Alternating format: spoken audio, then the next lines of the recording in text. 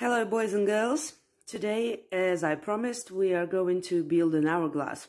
So I'm going to show you how to make it and then you can try to make it by yourself.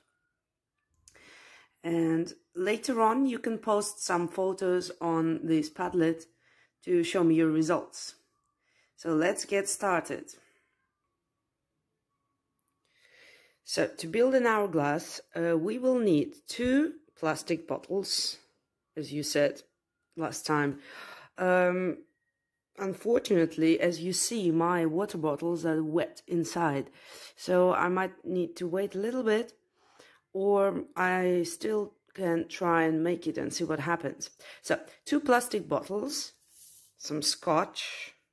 I just got an extra one just in case. And of course, some sand.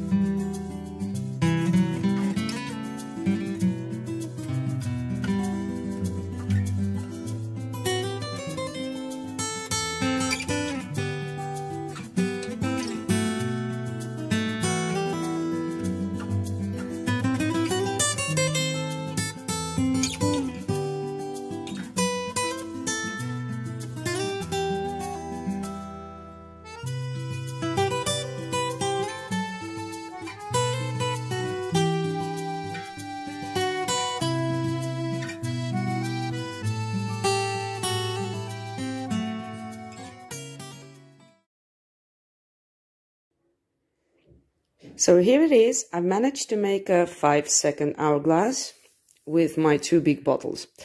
I couldn't make it longer because as you see the sand runs pretty fast. Maybe you can share some tips how to uh, make it run slower and maybe you can make a longer hourglass for example 30 seconds or one minute. So I'm waiting for your results and have fun!